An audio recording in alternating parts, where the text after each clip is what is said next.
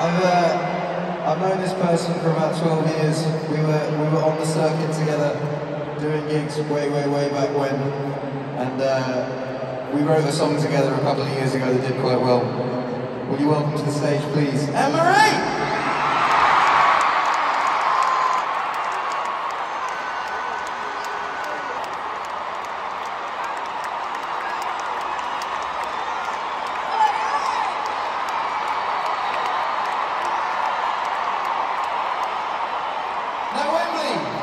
The deal is, we'll sing in tune, you sing loudly and out of tune. Does that work?